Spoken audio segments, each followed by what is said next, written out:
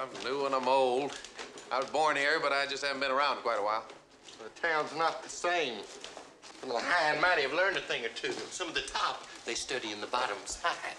And some of the bottom have come to the top, just like cream rising to its natural place, huh?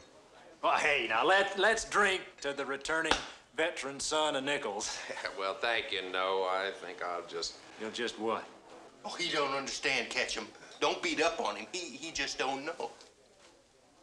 Explain it to him, Mitchell. Nobody refuses Ketcham anything. You want to get along in Nichols. Nichols. You're going to have to get along with me.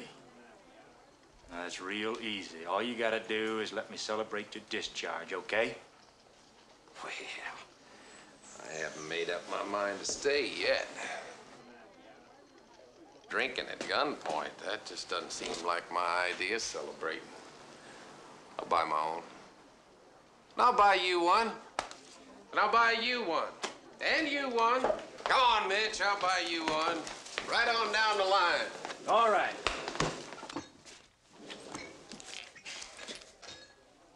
Well, now that I've made America safe from all foreign invaders, I aim to get rich.